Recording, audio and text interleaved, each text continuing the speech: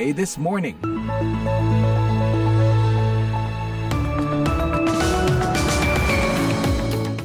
Halo pendengar VOA, bagaimana kabar Anda? Senang sekali ya kita berjumpa lagi dalam VOA This Morning bersama saya Puspita Sariwati. Ya, musim semi tentu banyak bunga dan bunga-bunga itu akan laris terjual pada akhir pekan ini karena untuk hadiah para ibu pada Mother's Day di Amerika. Kalau di Indonesia hari ibu pada bulan Desember ya. Tradisi di Amerika, para ibu tidak perlu memasak karena pada hari itu suami atau anak-anak mereka mengajak makan siang atau malam. Tidak hanya para ibu, namun juga kaum perempuan menerima hadiah pada Mother's Day. Baiklah pendengar, redaksi VOA telah menyiapkan berbagai laporan dan info pagi ini. Di antaranya, Israel lanjutkan operasi militer di Rafah. We want to get a ceasefire in place for six weeks. We want to increase humanitarian assistance. And the last thing that I want to do is say anything at this podium that's going to put that process at risk. WHO serukan Indonesia keluarkan larangan lemak jenuh peningkatan rasio LDL dan HDL kolesterol itu memicu terjadinya penyakit jantung koroner. Pendengar, selain itu berbagai info menarik akan kami sajikan pagi ini. Jangan lupa Anda juga dapat mendengarkan VOA This Morning secara live streaming di www.voaindonesia.com atau kapan saja di platform podcast langganan Anda seperti Spotify, YouTube Podcast, atau Apple Podcast. Kini kami sampaikan dulu berita dunia. Menteri Luar Negeri Pakistan Ishak Dar mengatakan negaranya tidak akan mundur membangun pipa gas dengan Iran yang telah lama tertunda. Kami tidak akan membiarkan siapa pun menggunakan hak veto mereka, kata Dar tanpa menyebut itu Amerika Serikat pada konferensi pers hari Selasa. Pakistan dan Iran menandatangani perjanjian jual beli gas pada bulan Juni 2009 untuk jaringan pipa yang akan memasok 750 juta hingga 1000 juta kaki kubik gas per hari ke Pakistan yang kekurangan energi dari lapangan Pars, selatan Iran meskipun Iran mengklaim pada tahun 2011 bahwa pihaknya telah menyelesaikan bagian pipanya, penundaan pembangunan terus terjadi di pihak Pakistan, terutama karena takut dikenakan sanksi oleh AS. Pemerintahan Biden telah berulang kali mengatakan AS tidak mendukung jalur pipa Pakistan-Iran karena Teheran berada di bawah sanksi AS atas program nuklirnya. Dalam pidatonya mengenang para korban Holocaust atau pembantaian terhadap orang Yahudi hari Selasa, Presiden Joe Biden mengutuk meningkatnya antisemitisme di Amerika dan di seluruh dunia. Biden mengatakan terlalu banyak orang yang melupakan pembantaian yang dilakukan Hamas terhadap Israel pada 7 Oktober tahun lalu. This hatred continues to lie deep in the hearts of too many people in the world. Kebencian ini terus tertanam di hati banyak orang di dunia, kata Biden. Tidak 75 tahun kemudian, namun tujuh setengah bulan kemudian, dan orang-orang telah lupa bahwa Hamas melancarkan teror ini, tambah Biden. Pernyataan Biden di gedung Capitol itu dianggap sebagai tanggapan atas protes pro-Palestina Beberapa di antaranya menyanyikan anti-Yahudi dan ancaman terhadap mahasiswa Yahudi serta para pendukung Israel yang mengguncang kampus-kampus di seluruh AS. Hal itu terjadi ketika presiden dari Partai Demokrat itu berjuang untuk menyeimbangkan dukungannya terhadap Israel setelah serangan Hamas pada 7 Oktober, hari paling mematikan bagi orang Yahudi di seluruh dunia sejak Holocaust dengan upayanya untuk melindungi kehidupan warga sipil di Gaza.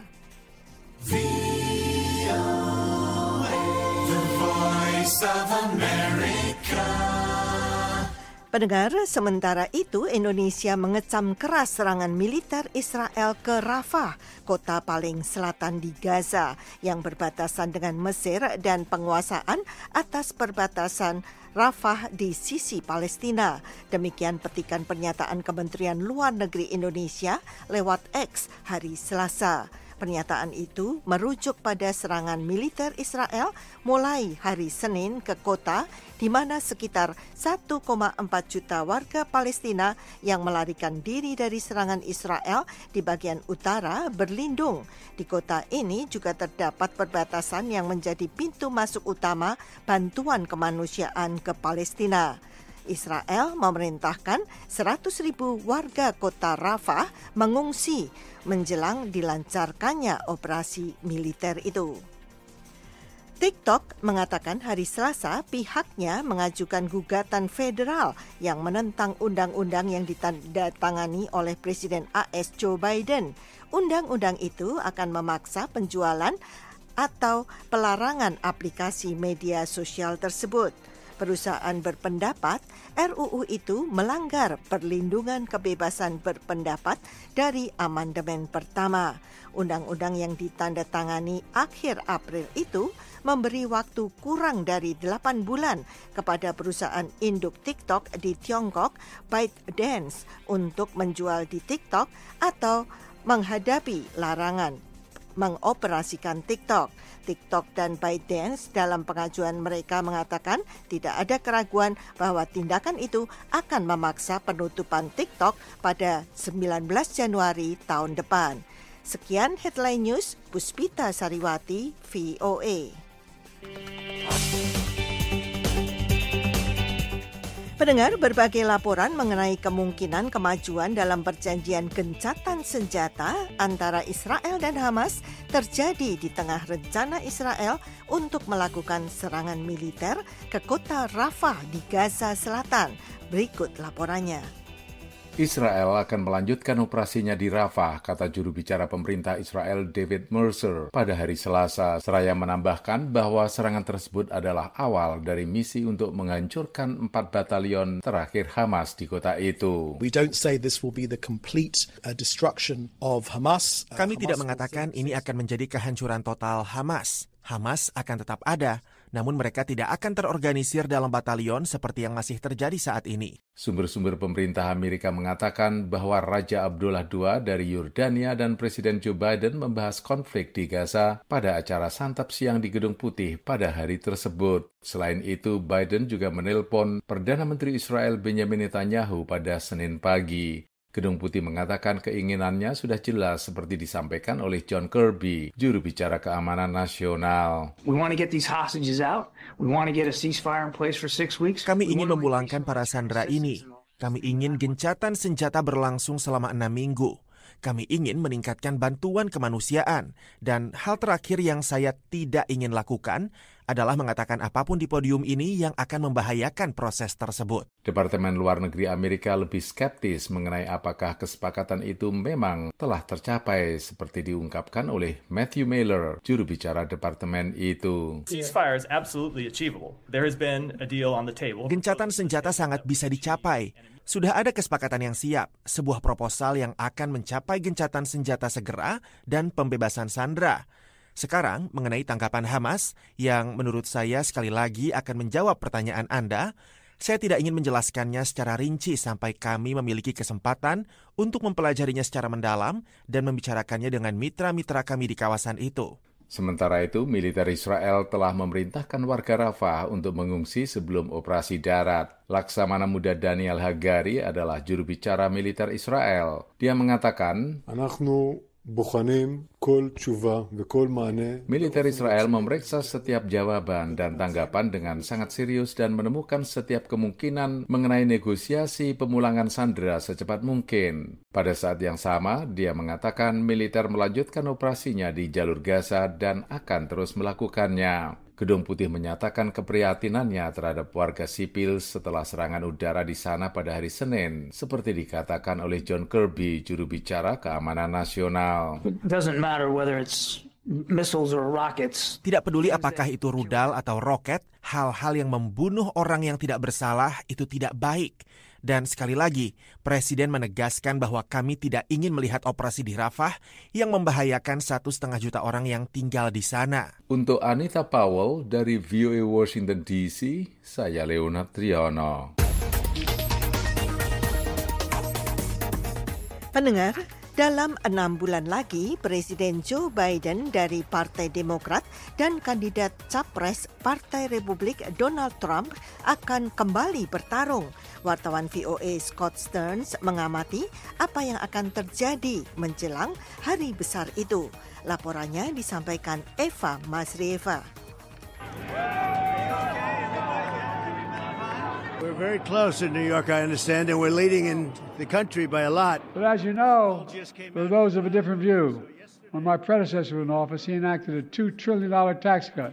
Pendengar Presiden Joe Biden dan mantan Presiden Donald Trump hanya memiliki waktu enam bulan untuk membujuk warga Amerika memberi mereka kesempatan masa jabatan kedua. Trump akan menghabiskan sebagian besar waktu menjelang pemungutan suara November nanti di pengadilan negara bagian atau federal untuk menjawab empat dakwaan terpisah atas tuduhan yang mencakup penyimpanan informasi, pertahanan nasional yang melanggar hukum, dan pemalsuan catatan bisnis. Ia mengatakan jaksa penuntut umum telah mencampuri pemilu. Semuanya legal. Mereka melakukan hal ini karena politik. Mereka ingin agar Biden terpilih kembali. Itu satu-satunya alasan. Keharusannya menghadiri sidang pengadilan mengurangi waktunya untuk berkampanye. Tapi Trump mengatakan politik hoax ini hanya menjadikannya tambah terkenal di kalangan pemilih. Hal yang menyedihkan terjadi di negara kita. Semoga saja pada tanggal 5 November nanti, yang menurut saya merupakan hari paling penting dalam sejarah negara kita, semoga saja akan ada perubahan karena orang-orang Demokrat ini menghancurkan negara kita. Partai Republik terakhir kali menominasikan Trump sebagai calon presiden mereka dalam konvensi semi virtual tahun 2020 di North Carolina. Perhelatan serupa tahun ini akan diselenggarakan di negara bagian Wisconsin. Namun sebelum acara itu, Trump sudah harus memilih tokoh yang akan mendampinginya sebagai calon wakil presiden atau cawapres. Di antara beberapa tokoh yang diyakini sedang dipertimbangkannya adalah Senator Marco Rubio dari negara bagian Florida, Senator J.D. Vance dari negara bagian Ohio, Senator Tim Scott dari negara bagian South Carolina, dan anggota DPR dari New York, Ellis Stefanik. Saat berkampanye, Biden meningkatkan serangannya terhadap Trump sambil mengklaim kondisi ekonomi yang lebih kuat saat ini. Pembangunan pabrik-pabrik baru telah meningkat lebih dari dua kali lipat di masa pemerintahan kami. Sementara Donald Trump masih menganggap kincir angin menyebabkan kanker. Itulah yang dia katakan. Ngomong-ngomong, ingatkah Anda ketika dia mencoba menangani COVID-19? Dia mengatakan hanya menyuntikkan sedikit pemutih ke dalam pembuluh darah bisa sembuh. Sayang, suntikannya meleset. Semuanya merembet ke rambutnya. Partai Demokrat terakhir kali mencalonkan Biden sebagai presiden pada konvensi semi virtual tahun 2020 di Wisconsin. Konvensi tahun ini akan dilangsungkan pada bulan Agustus nanti di negara bagian Illinois. Biden akan kembali mencalonkan diri bersama Wakil Presiden Kamala Harris yang telah berkampanye untuk menghidupkan kembali perlindungan aborsi federal yang berakhir ketika Mahkamah Agung membatalkan kasus Roe versus Wade pada tahun 2022.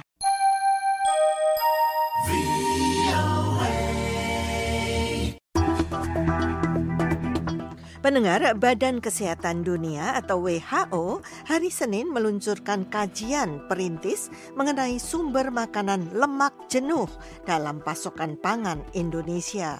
Kajian itu untuk mendukung penerbitan peraturan pemerintah guna menghapus lemak jenuh. Yohanes Lita menyampaikan laporannya. Kajian yang dilakukan Badan Kesehatan Dunia atau WHO baru-baru ini atas 130 produk pangan Indonesia mendapati bahwa 8,5 persen di antara produk pangan itu mengandung asam lemak trans lebih dari 2 persen.